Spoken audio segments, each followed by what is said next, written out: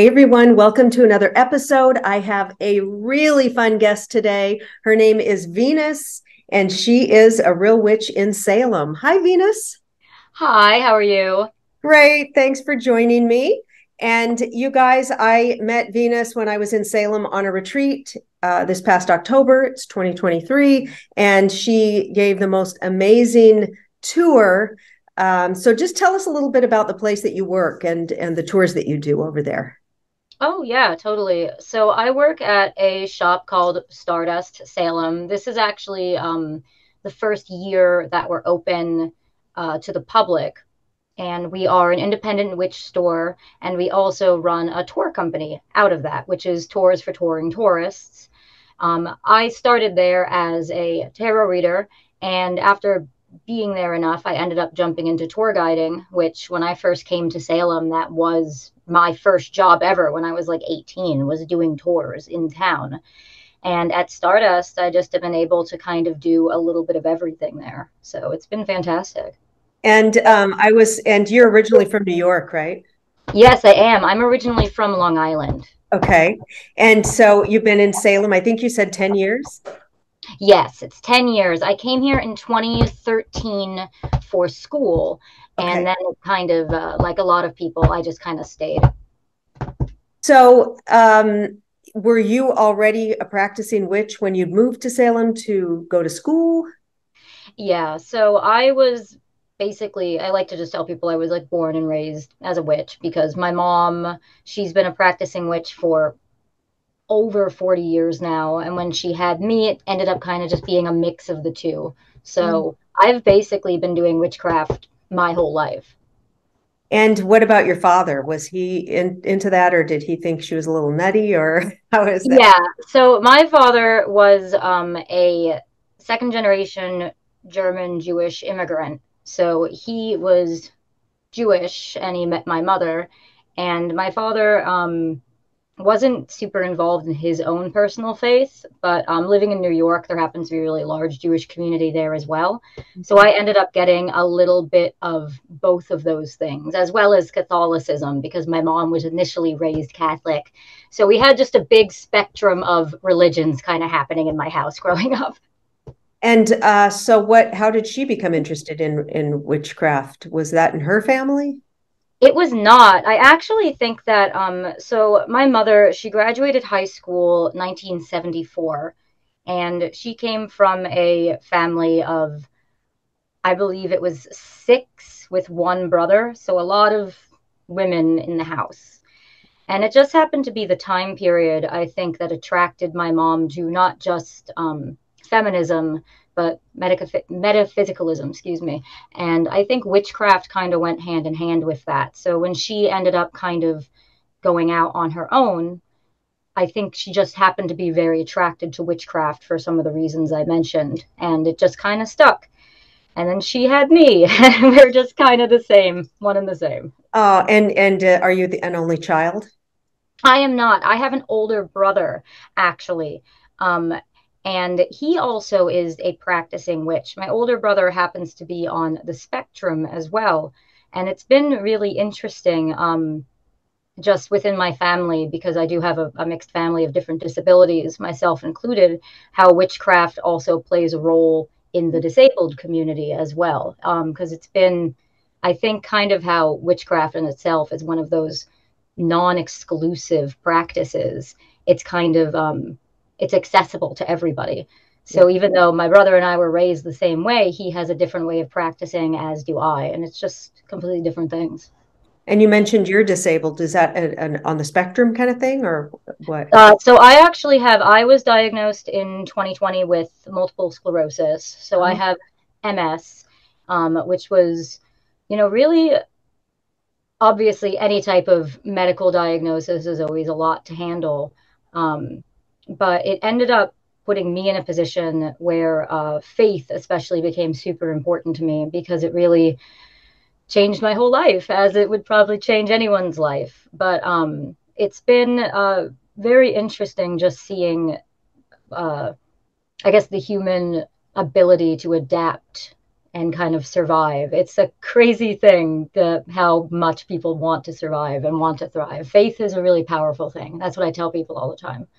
Yeah, I mean, um, seeing you and you're t- doing the tours and stuff, no one would know it. oh know? yeah, yeah, yeah. It's one of those um, uh, invisible disabilities, which uh, you know everybody I feel like that's in the uh, MS community and just the disability community in general have such a wonderful sense of humor because we're always in so much pain and we're just like ah we're fine don't worry about it yeah yeah, yeah i mean it, there's that gamut like we have i have a, a neighbor who's has to use a walker but she's older she's had it a long time and then other people another friend who has been diagnosed with it but you can't see any symptoms yet so yeah, yeah. it's different um. Yeah you know it's interesting because um uh, with MS, what I have, it's uh, another term that they would call it for years and years was um, uh, snowflake disease because everybody who has it has a completely different set of mm-hmm. symptoms. Yeah. And I was like, you know, that's funny because um, that's kind of how I describe like like in the tour I gave to you, uh, witchcraft with people, where I'm like, there's kind of one umbrella,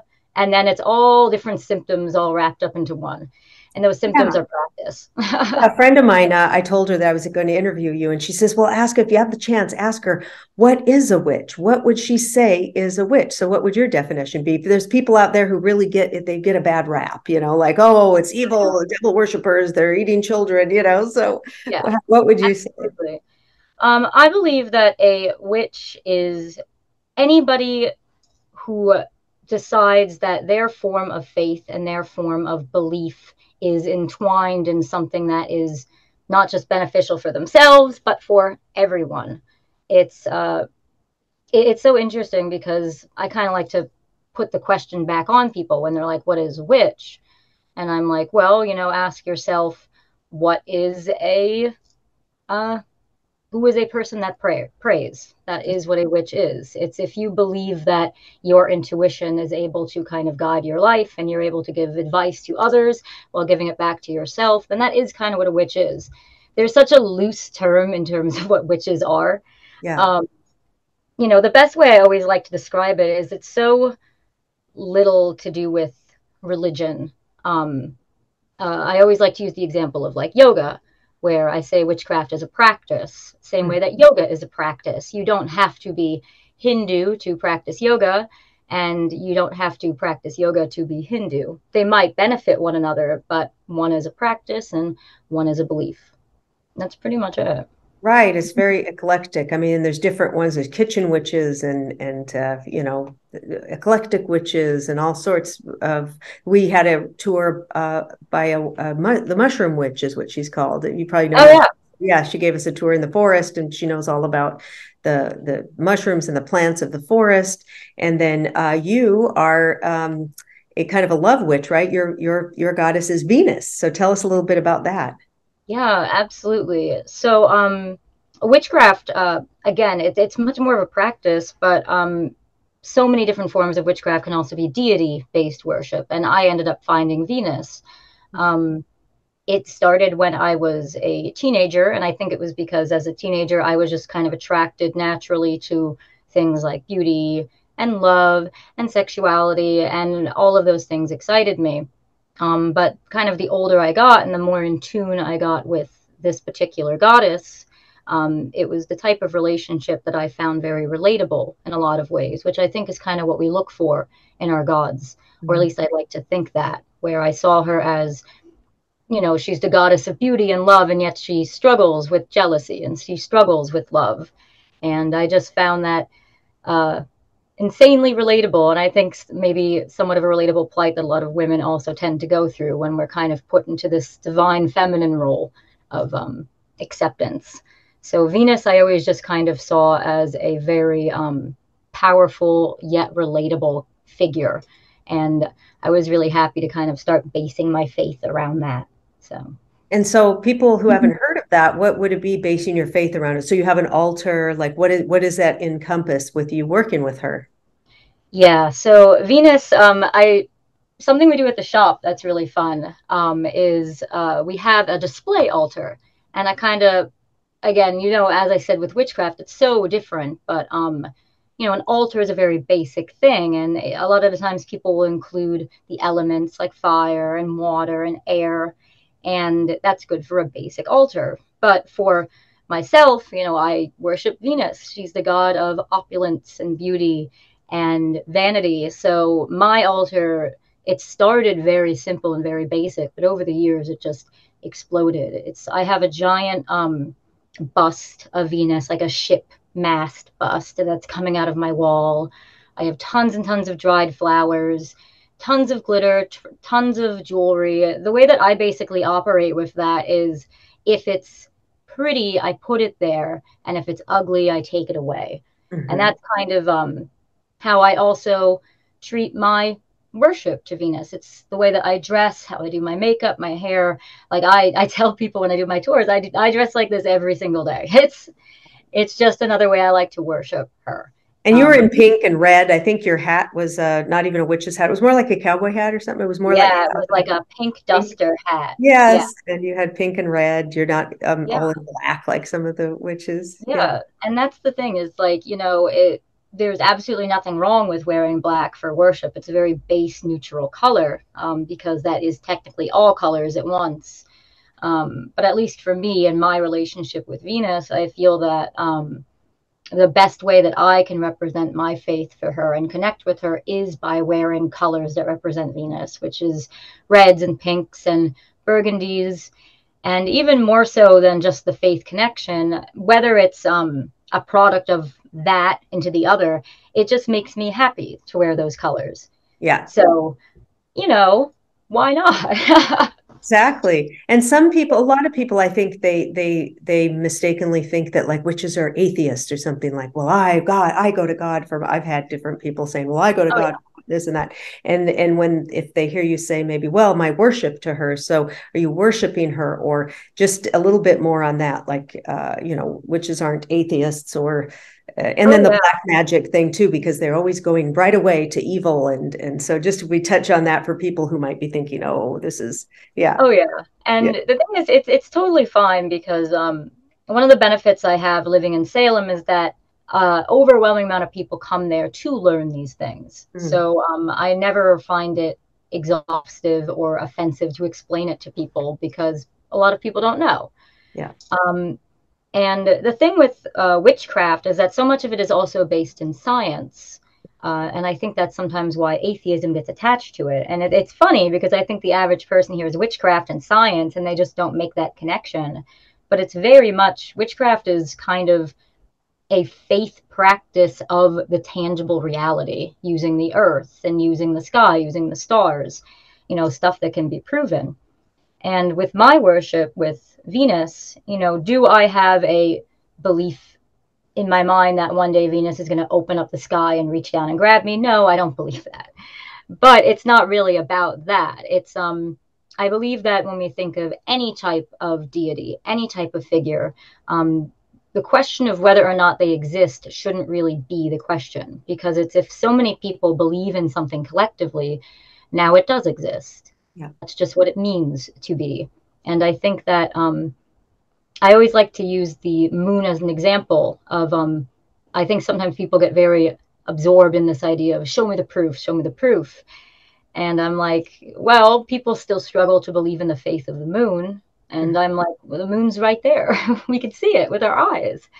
So I think it's just, um, I think the same way that uh, maybe a very long time ago there were things about science that people were extremely skeptical and critical of, I think that we should also be a bit more open minded to the idea of faith and worship and maybe kind of view it the same way and see that they, they both can exist simultaneously and not denote the other.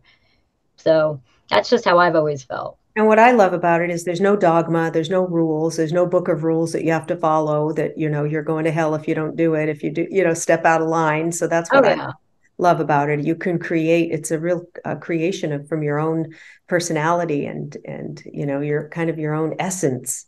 Is oh yeah, that's something I always um when people are like, you know, how do I become a witch? What does it take? What do I do? And I'm like, I mean, you know, there's plenty of guidelines, plenty of books. Um, you know, all the books by Scott Cunningham I always recommend to people. I think they're wonderful. Um, but at the end of the day, you know, your practice, your belief, your altar is such a deeply personal experience, and there is no right or wrong way to be a witch.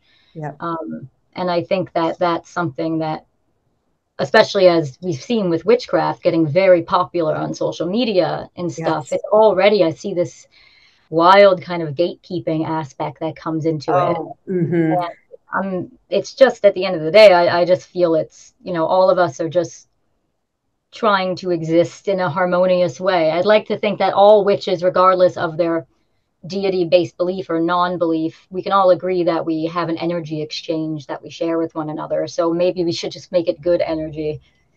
Right. And some are in a coven, you know, they'll be in a, which is a group, like let's say you have a church group and you go uh-huh. Bible study. It's like, you know, your coven, or there's the solitary witches. And so I know how um, Laurie Cabot, who is the the official witch of Salem. So I'm going to ask you a little bit about her. But I, I watching some of her videos. She, I mean, she takes it very seriously. She's like, now, if you want to be a witch, you've got to do this, this, and this. She's got it real, you know, to a science there. Where other people would be, well, I put my magic into my cooking, and I get the herbs from the garden, and I have my crystals, and I, you know, have my altar, and you know, whatever way you want to do it, it's it's, mm-hmm. it's you can be you. So.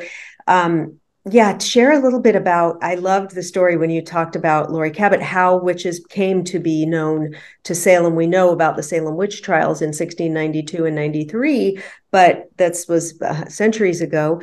And it's just in the modern era here that it's been, it's like Witch City, why it's called Witch City, and, and oh, yeah. how it became to the 60s and with yeah so i'll let you take yeah. it away it's such a great great story yeah, of course it, it's one of my favorite salem stories um, i think that uh, once again i think that sometimes salem gets this uh, uh, criticism especially that it faces um, that salem is profiting off of the mm. people that were killed during the witch trials and it really is not as black and white as that might appear to people looking on the outside because the um, Salem is known as Witch City, and that actually isn't necessarily because of the witch trials. It's actually when the whole witch trials thing took place, um, Salem was extremely embarrassed by it for very obvious reasons. And they did not want to be known as the city that the witch trials took place in. Um, but unfortunately, when I find things try to get covered up, that's when we end up becoming very familiar with it.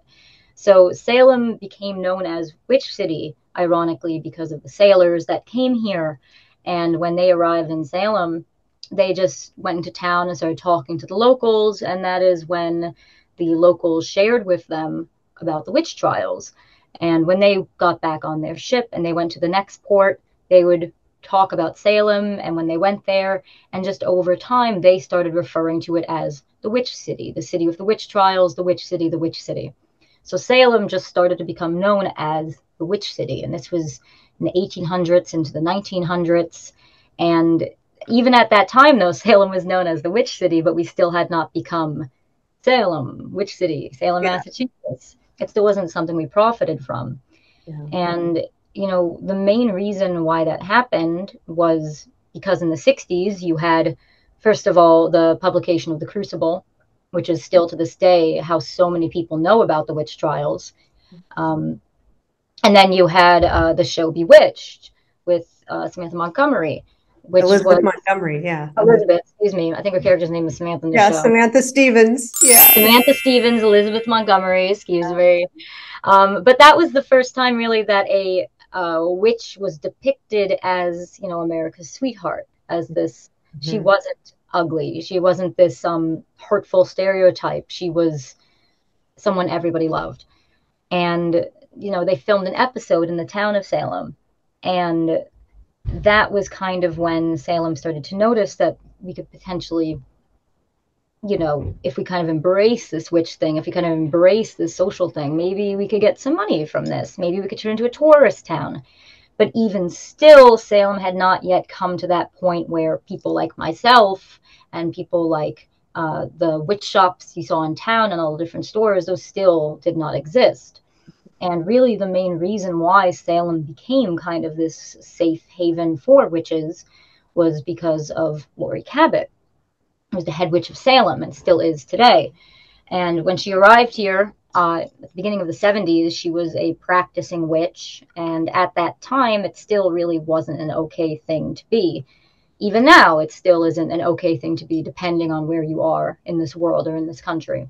Mm-hmm. And when she was here, she was a closeted practicing witch. And at the time, um, she happened to own a cat which uh, I talk about familiars and things like that. Familiars was this belief that witches were given exactly. If you ever wondered why witches are associated with black cats or owls or spiders, it's yeah. because the Puritans believe that uh, witches were servants of the devil and they were given like basically little henchmen to do their bidding, which would be in the form of the animals I listed. And Laurie Cabot had a cat. It was just her pet cat um, but one day the cat got out of her house and ran up a tree in her front yard. And when she called the fire department, she tried to get them to get the cat out, and the cat never came out. And they basically told her, I'm sorry, lady, we can't help you out. You know, just wait for it. And finally, she got so fed up. Finally, she called them back and she said, My name is Laurie Cabot. I am a practicing witch. My familiar is stuck in a tree, and I need you to come here and get him out. And that was when they sent everybody to Laurie Cabot to get the cat out of the tree. And that was when they published in the newspapers the next day, it said witches in Salem. And now it was literally the metaphorical and literal cat was out of the bag. Mm. And once it's out of the bag, you can't go back in. And that was when Salem, not just in the town, but now around the world, became known as a safe place for modern day witches. And that was when we had this great migration of witches coming to Salem. And it was after that, uh, Laurie Cabot, she opened the Crown, the Crow, uh, excuse me, the Cat, the Crow, and the Crown, which was the oldest witch shop in the country. And then she ended up staying in Salem. Now she resides in Enchanted, where she basically hangs out and that was ultimately why now Salem has places like Stardust, like the shop that I work at. And that's why we were able to have not just one tour company, but multiple tour companies and multiple shops where you could walk in and pick up a book on love magic or a book on mushroom magic or kitchen magic. And it's really just Salem has such a wonderful and exciting, just never ending circumstances of events that lead to why the town has become what it is. And it really, I think, at the end of the day, makes Salem even more magical that these things happen. Mm-hmm. So I always tell people believe the hype about Salem because we actually are kind of like a Disney movie. Isn't it? And um, so Laurie Cabot is like 90 now. She's oh yeah, yeah. And um, I didn't see her walking around, but you know, I'd hear that you could see her, and she wears the garb, you know, the beautiful long, you know, robes and oh, yeah. all of that stuff. So oh, I, yeah. yeah, it's so magical. Now, do you find that uh, coming to Salem is welcoming? Like, let's say you're a new witch in town and you want to move there and start, you know, are people uh, welcoming or are they like, oh, we've got enough already, or who are you, or don't move in on us, or how how would it be? It's um, you know, I certainly think that um, Salem, first and foremost, is always going to be a small New England town, um, even if we have the witch community here. And I think that um, there is quite a bit of diversity in Salem in terms of our witchcraft community. And, you know, once again, it's that benefit that there are so many different shops and there are so many different things that it is you know, and uh, uh, something that we've also been trying to do at Stardust is we'd like to have more open classes and more open shops and more beginner 101 things like that. That's also something I've been trying to do on my own site um, because it is kind of difficult or it is intimidating when you move here first thing to try and find, you know, what part of this is for the community and what part of this is for tourism. Uh, and it does exist. It f- absolutely does. It's just um, we like to try and make it a little uh, easier so that you know people like myself. It did take me some time to find my community here, um, just because I think with any belief, anything like that, any type of religion or anything that's similar to that, you always want to be discerning and you want to make sure you're in with the right people. Yeah. So I'd say yes, but also no, if that makes sense. And and your husband works at the shop with you, right? Yes, absolutely. And that's um my husband is also a practicing witch. Mm-hmm. So it we just happened to we didn't meet on like a witch dating app or anything. It just happened to happen to be a thing we had in common. And uh-huh. um uh, Nick and I he ended up when I started working at Stardust, I would basically come home all the time and just let him know how wonderful it was. And back in the day, he used to also be a tour guide in town. Everybody who's lived in Salem, I feel like, has either worked as a tour guide at one point or has been in the service industry. And he ended up um, just saying, Oh, you know, I'd like to pick up some shifts there if I can. And that was last October. And it was just great. I love working did with did him. Did you meet him in Salem or have you? Or... Yes, I did meet him in Salem. I met Nick in Salem in, oh, wow, um, 2016. There okay. we go. Yeah. Yeah. And um, okay, so let's talk about your tarot. So ma- basically, uh, I think you said your the main thing that you do is is tarot readings. That's for uh, besides working at the shop and tours, your work is tarot. Yes. Yeah. That, yeah. Did you learn that tarot. as a child? Did your mom teach you? Have Have you been doing that? Yes, my mom um, has been a tarot reader uh, my whole life. That's also one of the things she does full time as a job. Um, and my mom ended up teaching me because I showed an interest in it. And it's really when I, it's really fascinating because when I try to think back on how my mom taught me, I sincerely can't remember. It just kind of feels like it just happened somehow. Um, because there's certain cards for sure that my mom definitely imprinted upon me as like this is what it means. Um, and then the rest just kind of ended up being practice. Um, I think tarot, just like witchcraft, um, there is kind of a set and guideline to it, but I think so much of it is depending on your personal relationship to it and the relationship that the person you're sitting with has with it. Um, you know, I, I, believe so strongly in respecting people's autonomy, um, especially when it comes to things like their future or their past or their inner monologue. So that's always something I try to um, be very mindful of when I give people readings, just because you know that's their business, and if they're if they want to give it to me, I appreciate it.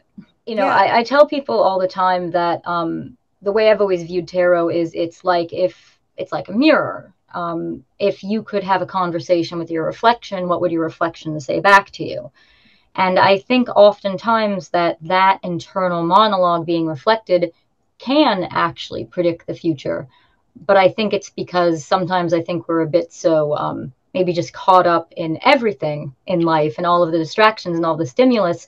Sometimes it's very difficult for us to take to take the time to actually connect with our own thoughts. Mm-hmm. And I think sometimes if we have the ability to, like I said, kind of do that shadow work and look at ourselves, we actually do see like the light at the end of the tunnel. We see what the clear and obvious answer is yeah. which you know for some people does come across as telling the future but it's something that i do is i like to let people know like that's them doing it not me um, mm-hmm. um, i was translating what the cards that they picked said mm-hmm. so i just i try very hard to remove my own personal like oh make sure you keep coming back to me like it's want to give them I, the power yeah yeah because i think that um like i said it's uh one one of my most memorable readings I did was for a young man who afterwards he told me that he was a therapist. He was a new therapist. And he said that he had never gotten a tarot reading before, but he saw so many similarities in what he did as a cognitive behavioral therapist and some of the things that I did in the reading, which is it's presenting a question and kind of redirecting the question back so that the person that's receiving it is able to kind of digest it and work through it on their own.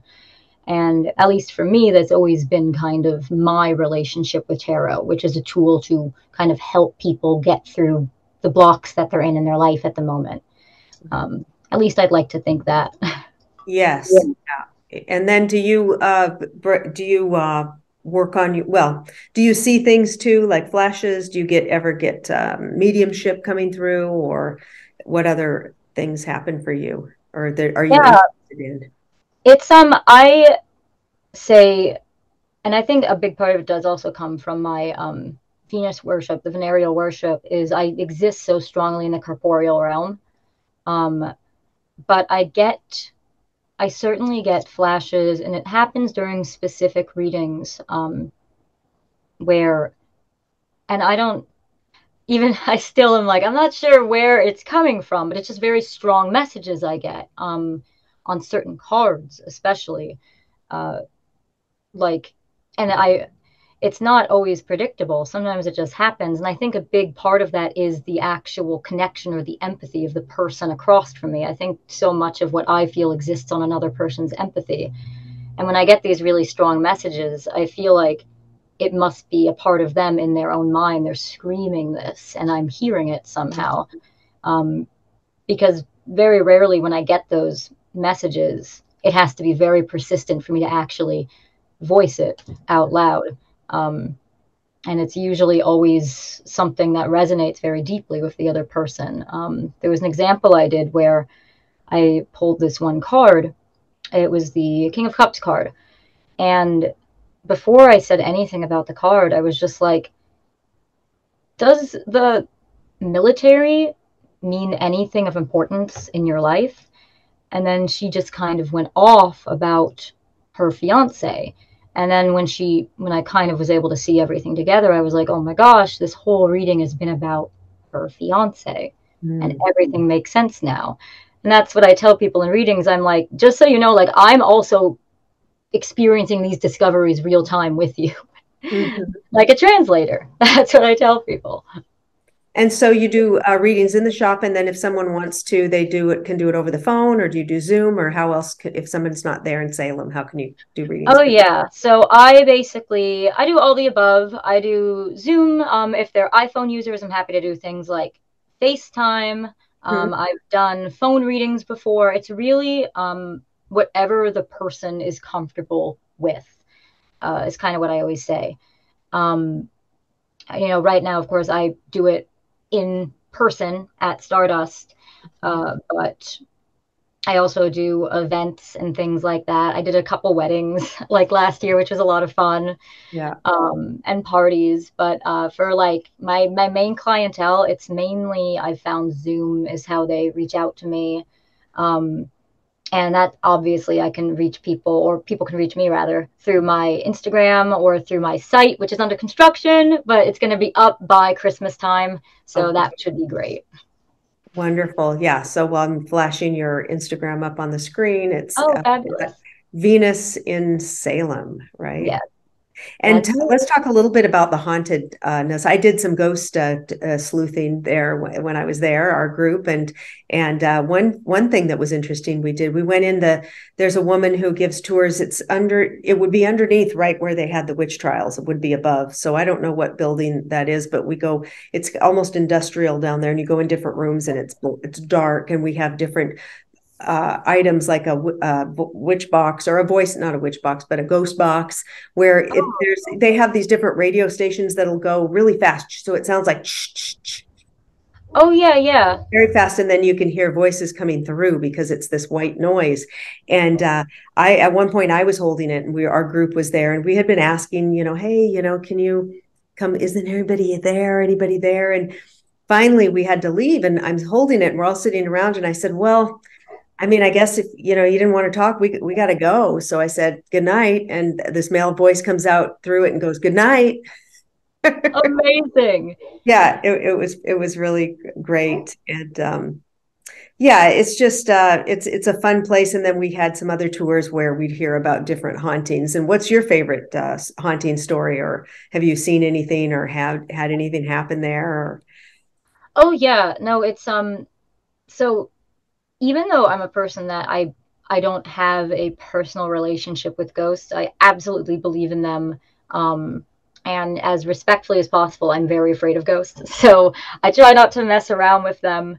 Um, but Salem has had so many like fascinating stories. Uh, one of my favorite stories always surrounds um, the merchant uh, in Salem, where it's uh, the body of Sheriff George Corwin, who was a during the witch trials, he was the police officer and he was one of the worsts, like one of the absolute worst. The it was just just a nasty guy. And um, as a matter of fact, he was so nasty that when he died, they basically had to hide his body because they were afraid people would literally like tear his body apart. Mm. So they ended up burying him in the basement of his home. And that home ended up becoming the Hotel de Merchant, which is still in Salem now. And um, it wasn't until like, it was something like a hundred years or so after he died that they ended up like finding him and they were like, oh my God. And there's still stories about his ghost haunting that place. And the thing is, I'm always inclined to believe that any type of death that occurred in secrecy or anger or fear absolutely leaves this stain of energy. And I feel that I think that's probably where my fear of ghosts comes from because I feel like that stain of hatred is so intense that it just leaves a mark. So that always was my favorite scary story because that's like I I know there's some people that probably be like, "Oh, I want to go into the basement of the merchant." And I'm like, "I absolutely do not want to do that. Why would you ever want to do that?" but, yeah, things like that. And again, with the t- town of Salem, you know, we have so much unfortunate and painful history with the witch trials. And I think that there's so much of it that just it doesn't just go away. It's the energy, right. it's the exchange of the two. So what, when I think of uh, spooky ghost stories in Salem, I think Sheriff Corwin is probably my favorite in terms of again scary. So and we visited the spot where the people were hung, yeah. Proctor's Ledge. Yes, we and the names are uh, below that, and then we walked up, and there was a few trees, but the spot was there, and then on the tree there's the names of each person. So we kind of formed a circle and get, just uh, had some reverence uh, for them. Mm-hmm. And uh, that was very interesting to stand where that happened. Um, oh, yeah. Although it's very changed around it, you know, that, but you could just kind of picture everybody coming and standing there and, and, um, yeah, so that was, it, it feels, it's interesting to really get to see because it's so long ago that there's actual some structures that still exist or spots that they know of that you can really um, kind of tap into and yeah. Yeah and and the cemetery and all of that cemeteries yeah it was the um the witch trials memorial was also so um impactful the way that it was built because it was all of the pieces of it it's basically like stacked bricks almost and it was done intentionally the memorial to show that nothing is ever permanent and that things always change and it was supposed to reflect this idea that hysterias will always happen because mm-hmm. nothing is stationary. Things are always changing. And it means that, you know, you could take one piece out of it, and after time, it will just become another piece of the earth.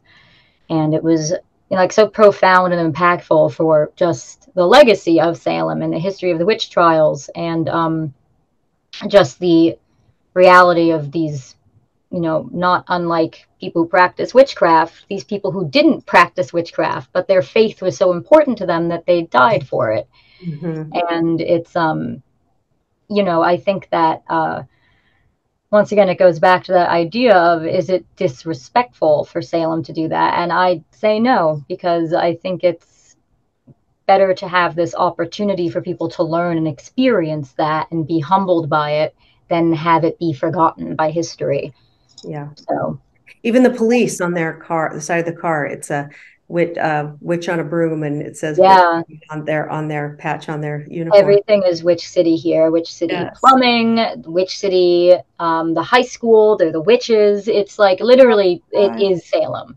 Wow. Salem is witches. So that was my one of my bucket list trips. I'd always wanted to go to Salem in the month of October, and so when my shaman Riz Mirza he gives uh, sacred uh, retreats all over the world. And he says, Well, uh, October, in March, I was at the Sedona one. And he says, We're doing Salem in October. And I signed up right away. So it was 11 women. And we stayed in Manchester by the Sea in a 100 year old villa, 10, 10 um, room villa.